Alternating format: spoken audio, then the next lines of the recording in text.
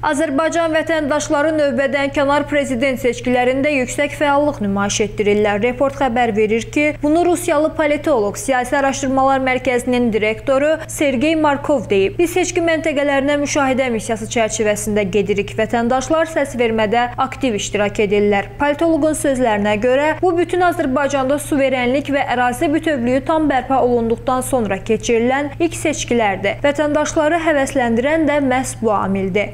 Leyla Səməndər, Heydər Həsənli, Missiya TV.